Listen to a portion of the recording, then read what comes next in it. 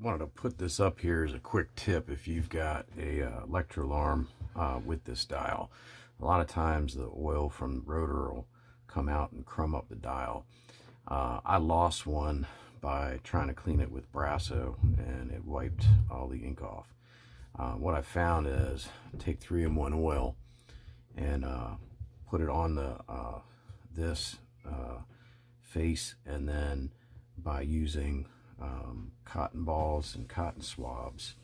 Um, you can remove, it's, it's, a slower process, it doesn't happen all at once, but um, you can remove the um, rotor oil and get the face back the way it was.